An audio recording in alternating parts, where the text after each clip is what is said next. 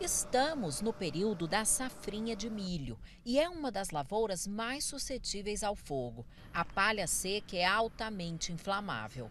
É uma folha seca que está suscetível a fogo no menor, na menor faísca pega fogo. Uma faísca pega fogo. Ou até mesmo, por exemplo, pode ser uma, uma latinha, uma coisa assim, pega fogo, porque ele está muito seco. O fogo na Chapada dos Veadeiros teria começado em uma fazenda. As chamas se alastraram e atingiram 36 mil hectares. O prejuízo estimado para o PIB brasileiro por conta da seca e das queimadas é de ao menos 60 bilhões de reais. Elas geram impacto negativo na safra, tem o aumento da energia elétrica e as consequências nos setores industriais e de serviços. A gente nem imagina, mas esse clima extremo fez a economia brasileira crescer 0,8% menos esse ano. Os danos ambientais são visíveis, mas pouco se fala das perdas econômicas.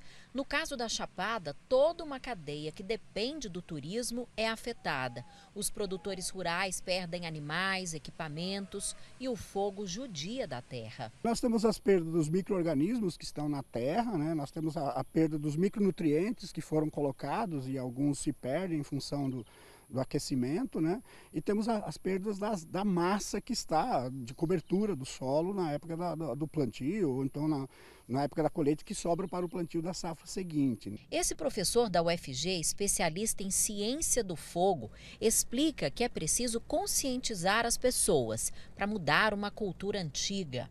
A, a conscientização no sentido de, olha, está começando o período da seca, né? Então, é, evitar a, a, queima do lixo né, no, nos fundos do quintal de casa, na, no trânsito, né, na, nas estradas, é, ter cuidado com cigarro, é, para o pessoal que vai para campo, né, às vezes acampar, é, pescar, tomar cuidado com, com o uso de fogueira, Além disso, o governo também precisa investir, e são recursos altos, para garantir um combate efetivo do fogo. Para se preparar para um, um trabalho desse, né, num país tão grande quanto o nosso, você precisa ter antes, recrutar essas pessoas, treinar, adquirir, fazer aquisição de EPI. Então, o governo precisa ter um, um planejamento a priori